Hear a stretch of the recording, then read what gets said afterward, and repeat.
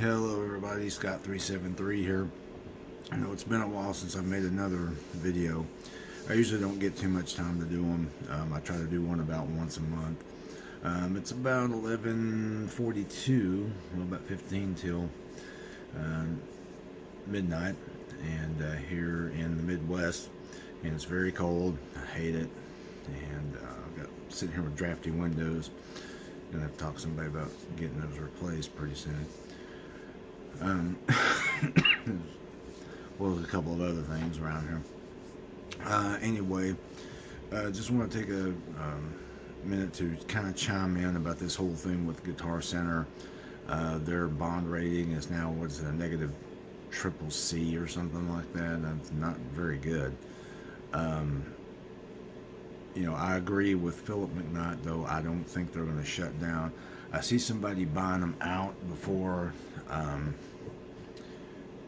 before anything. Oh, come on, come into focus, you stupid camera. There you go. Um, somebody will buy them out probably before they shut down completely. Um, I don't foresee. You know, I, I, I would say that somebody like Sweetwater would buy them out before they, you know, completely close their doors. It's just a matter of time before they file bankruptcy, so that way somebody can get them for, you know, pennies on the dollar. Sorry about this big halo thing back here. That's not another dimension. That's just bad lighting. This room stinks for it. And this camera is not the greatest on earth either. Um, getting back to topic. Um, I don't foresee it happening that they're going to shut completely down. I think they'll be bought out first. But I think I know now. I'm not. I'm only speculating, and I'm not saying this is the only thing um, that contributes to their problems. But you know, it is. It may be a factor. Um, I don't have the answers for it, and I'm not claiming to be the know-it-all. As I said, I only have a theory as to why maybe they struggled with uh, making money. Um, you know, Philip McKnight, you know, he said, you know, and I'm not going to sit here and paraphrase his video all night. Um, you know, his content is his. But, you know, it's like he said, you know, somebody will probably eventually buy them out before they shut down. So, um, my theory is, is that if, well, for one thing, it was a known fact that a lot of, you know, guitar centers had a lot of overhead. Um, they targeted a lot of people who were severely affected by the Great Recession of, uh, I guess it was 2008. Didn't have a lot of money, and um, people just didn't have the money to go to guitar centers and blow hundreds and thousands of dollars on guitars when you know work was so scarce for a lot of people and that was one of the factors but however you know yeah there's the internet has really caused things to streamline too. You know, I mean, look at what's done to Walmart and all those guys. It's forced them to rethink their strategies a little bit. Um, but I think, yeah, the internet has really dinged um, Guitar Center for one reason. If you go, now this is, as I said, my theory, not the final say, not really an expert opinion of anything. But if you go and you look at websites like Sweetwater, you know, they're on board with this now too. They're not as lenient as some, but still they're trying. Or if you go to, I don't know, let's say, you know, American Music Supply or zZounds or somebody like that, um, you look at how they, they sell guitars to people. You you can either pay for them up front, you can apply for a card, or they're doing something now where, you know, if you don't have the money up front, you can play now, pay later. Um, you pay a deposit, and after you pay that deposit, you know, they take out monthly payments. Once you set up a secure method of payment, such as PayPal or your credit card or, you know, your bank debit card, whatever, something that they can take the payment out once a month. Once you secure that, you know, even guys with not so great credit uh, are able to get things from these websites. Uh, they were you know, able to get PA gear or you know DJ equipment, guitars, amps, whatever.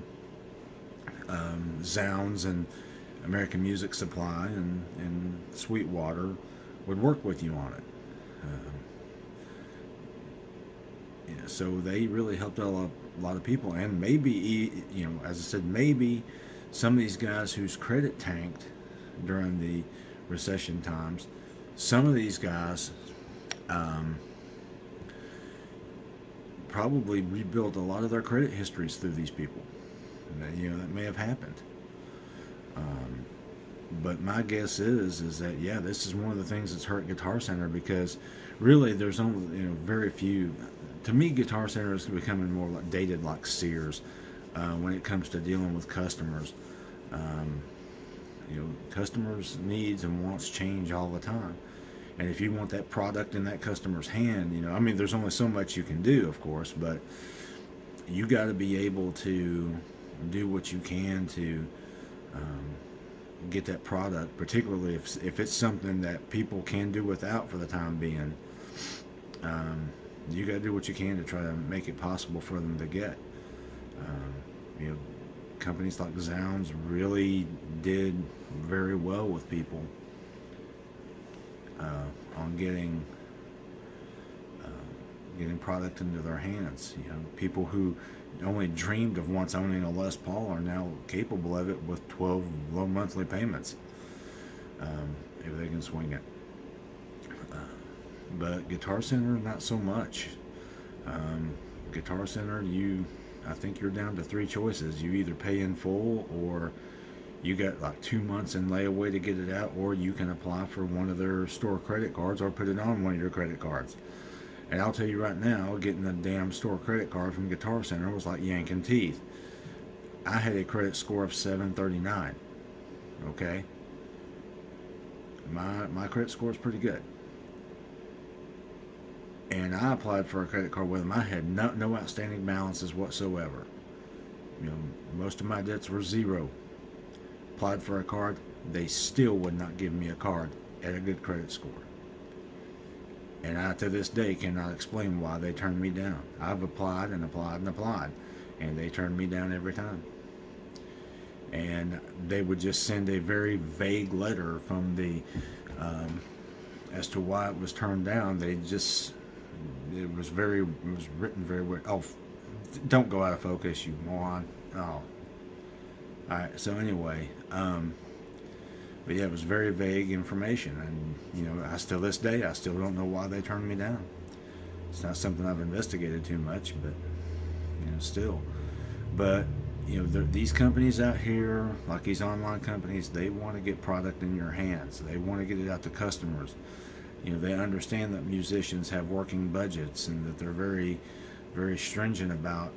You know, I mean, musicians out there, you know, they can squeeze a nickel so tight the buffalo would fart so you know they understand that some of these guys don't have that kind of money up front, so they make arrangements with them.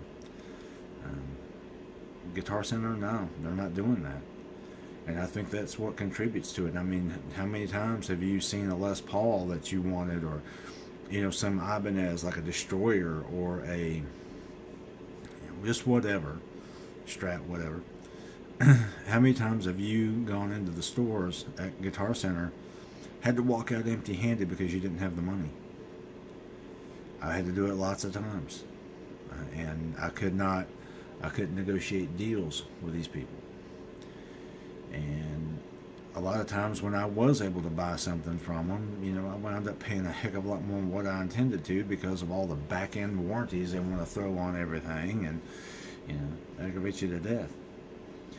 So, you know, if Guitar Center, you know, you guys might want to consider loosening up a little bit, loosening the screws a little bit on people because this is stuff people don't have to have and this is stuff that people did without when they were laid off and this is stuff that people you know now that it, it looks to me like things are going to start picking back up again you know we're not seeing it right away but you know the economy's about ready to head into full throttle mode uh, full throttle mode, mode again and we may see some really good pickup so it might be wise to make up for that lost time with your musicians and everything else by going in and uh, working out these deals with these guys.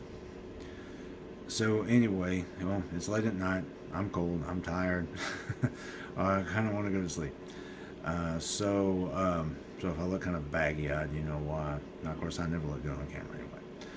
But anyhow, um, go ahead and click the subscribe button. You're not going to get a lot of updates very often, but we do appreciate it when you do watch. And uh, you know, check out some of those sites. You know, if you're looking for a guitar, you have some spare money, or you know, you you're going to get some fun money out of a, a tax refund this year. Go ahead and uh, you know check out some of the sites on Sweetwater and stuff like that, or or check out zZounds or, or American Music Supply.